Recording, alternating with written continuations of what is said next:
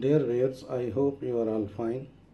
This ultrasound video shows early ectopic pregnancy and ovarian pregnancy with ovarian cyst, cyst in the next ovary and fluid in the Morison's pouch.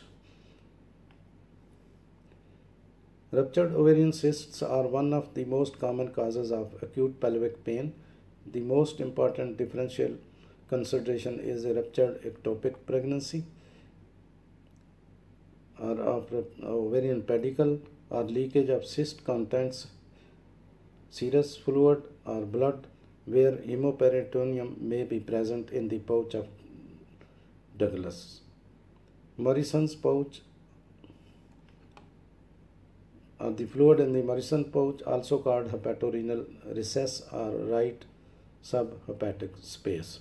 You can see here in this case there is fluid in the Morison's pouch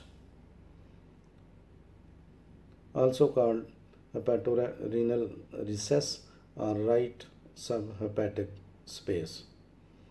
Now this fluid is clear having no internal echoes.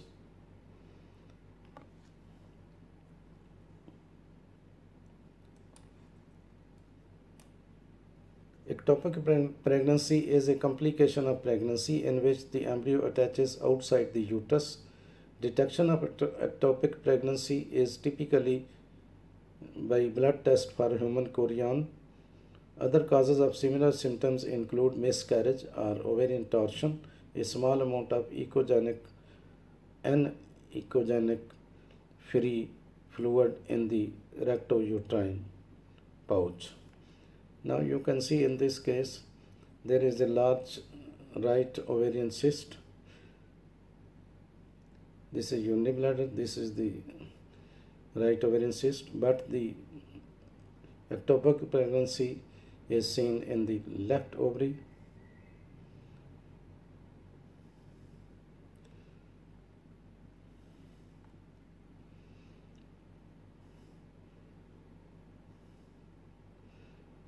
There is slightly more incidence seen in the patient with having ovarian cyst the ectopic pregnancy is more common in such patients. Ovarian cyst cause infertility. If you are not ovulating, having irregular periods is a sign. Have a history of fallopian tube surgery, pituitary or thyroid problems, or have had a history of chlamydia, pelvic inflammatory disease, or an ectopic pregnancy, you may be at the risk of infertility. Now you can see the cyst measures more than 4 centimeter.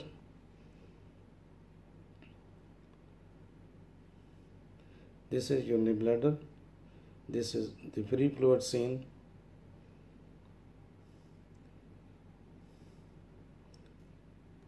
The cyst is seen in the right ovary and there are multiple adhesions in between these right ovarian cyst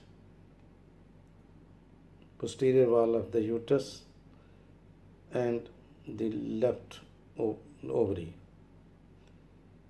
These are the multiple adhesions with thick free fluid in the cul-de-sac and multiple adhesions are seen in between the right ovary, right ovarian cyst posterior wall of the uterus and the left ovary which has an ectopic pregnancy.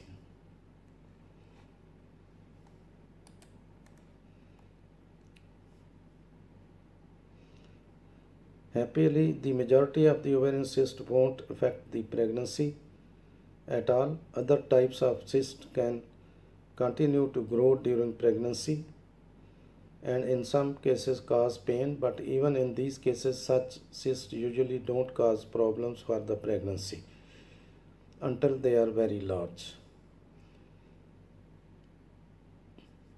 Now you can see the right ovarian cyst, urinary bladder and the left ovary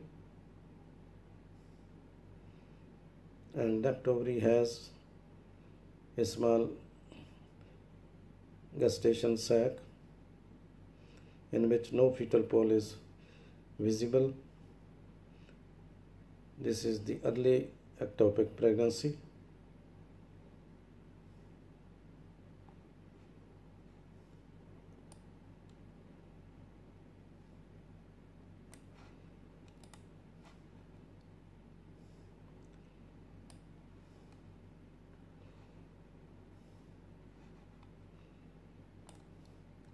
Now you can see the blood flow. The size of the cyst directly correspond to the rate at which they shrink. Most functional cysts are 2 inches in diameter or less and they don't require surgery for removal.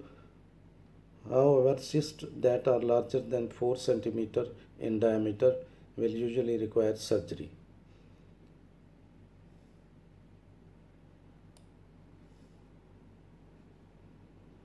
Ectopic pregnancies can seem like normal pregnancies in the very beginning with typical pregnancy symptoms like a missed period, breast tenderness, fatigue, and nausea. Symptoms of ectopic pregnancy include severe lower belly pain, ectopic, especially in one side, vaginal bleeding, or spotting.